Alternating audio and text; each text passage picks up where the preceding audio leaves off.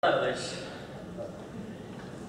O que leva a Alternativa Galega de Esquerda a presentar esta iniciativa é un principio para nos fundamental que é que en torno aos incendios forestais non debe existir ninguna clase de lucro. É dicir, con esta desgraza que padecemos ano tras ano no noso país non pode haber absolutamente ninguén que se lucre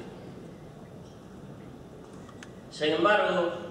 eh, e cada vez máis, por desgracia, hai máis empresas traballando nos servicios de extinción de incendios as que, polo tanto, lles interesa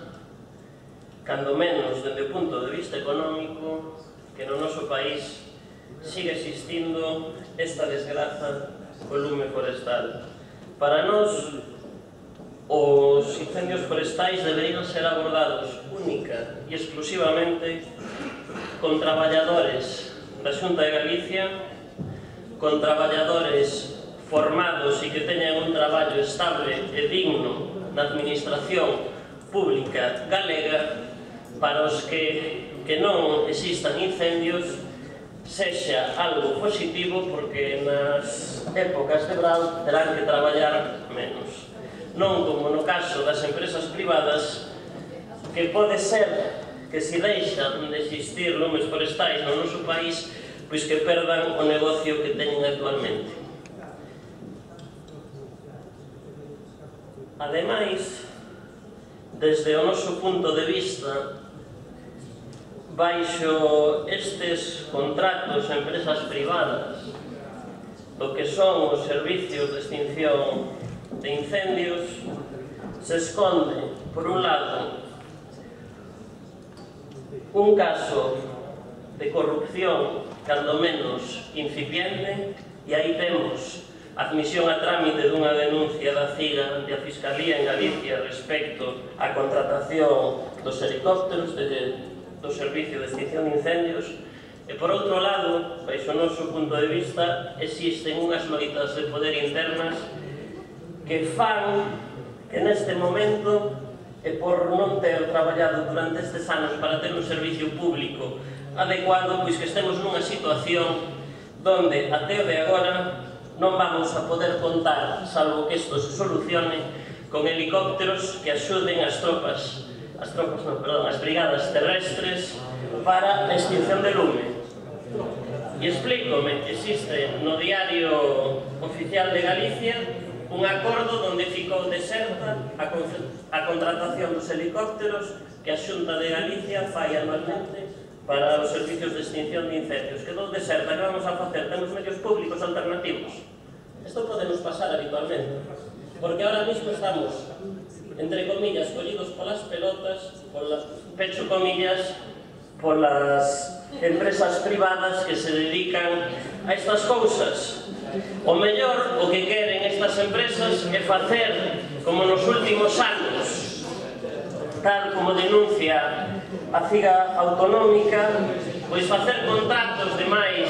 de 10.000 euros por contratos negociados en lugar de facer concursos públicos, o que baixo o que o que están agora mesmo en tela de suicios o secretario xeral do Medio Rural de Montes en consecuencia propia conselleira de Medio Rural e do Mar. E isto para nós é moi preocupante, porque estar chegando o mes de abril, como maio aí, onde por desgracia, ás veces,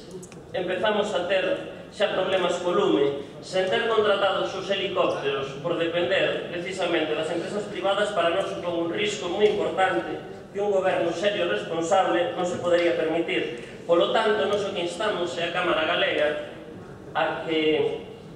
traballe para que todo o que son as brigadas de extinción de incendios sexan contratadas única e exclusivamente a través dos servicios de extinción de incendios, ou seja, que sexan traballadores, sexa personal laboral ou funcionario, E por outro lado, que progresivamente sabemos que non, a Xunta non é capaz actualmente de comprar todos os helicópteros, evidentemente, pero cando menos progresivamente que todo o que son, todo o que son os medios que pasen a depender directamente da Xunta de Galicia, que sexan medios propios para non encontrarnos cunha situación como pola que nos, por desgracia nos atopamos neste momento. Segundo personas do sector coas que eu falei, detrás desta detrás desta eh, non licitación dos helicópteros se agochan o cese do subdirector de incendios e do, CES, e o do xefe de incendios por ter durante estes últimos anos facer verdadeiras falcatruadas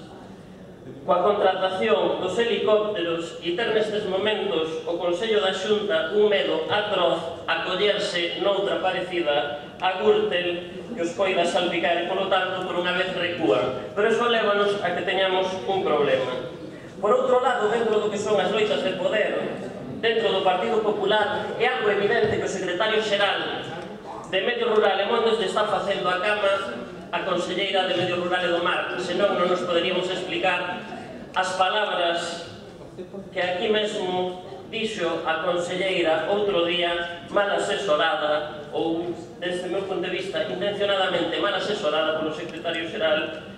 de Medio Rural e Montes, que por outro lado, para gañar peso dentro do partido, reviviu o que son as, as brigadas municipais que non, non o fixo máis que para ter dos, da súa man os distintos alcaldes do Partido Popular que nestes momentos de crise para poder seguir mantendo